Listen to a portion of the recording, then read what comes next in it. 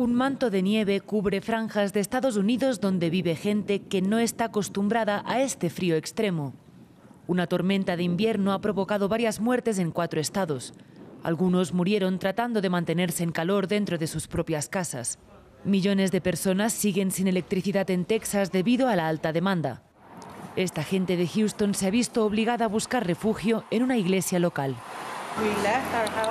Dejamos nuestra casa porque estaba muy fría y nos intoxicamos de monóxido de carbono.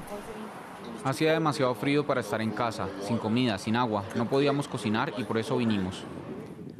Las autoridades locales están en el centro de las críticas por el desabastecimiento de agua y electricidad. Mientras tanto, las compañías eléctricas implementaron apagones temporales para evitar sobrecargarse. Expedí una orden efectiva a partir de hoy hasta el 21 de febrero para requerir que los productores que envían gas natural fuera de Texas lo vendan a los generadores de energía de Texas.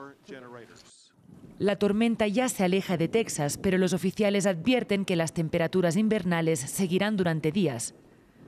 Mientras la tempestad se mueve hacia el noreste, se espera hielo, granizo y fuertes nevadas en Luisiana, Arkansas y Mississippi.